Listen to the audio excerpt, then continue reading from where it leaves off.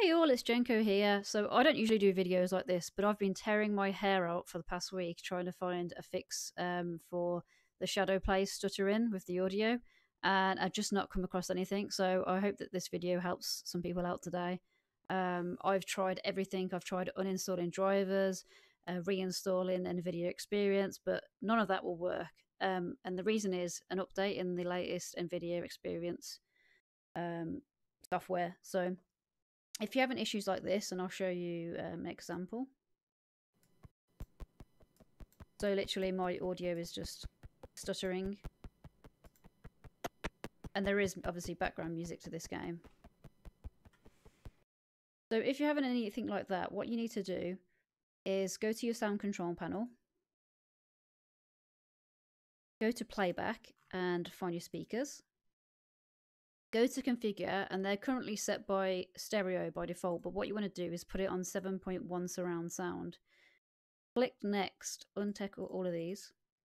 Click next again next and finish. So currently your headphones headset are currently on one uh, 7.1 surround sound but that's fine. Um, so click ok go back to the game where you had the issues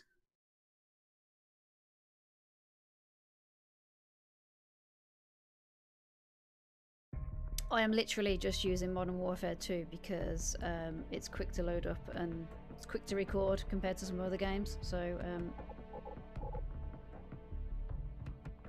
what we'll do is we'll just record that. So we've saved the last 13 seconds. Just click off the game. So this is the video that we've just watched with the stutter in. And this is the new one. So this should be the one with the perfect sound.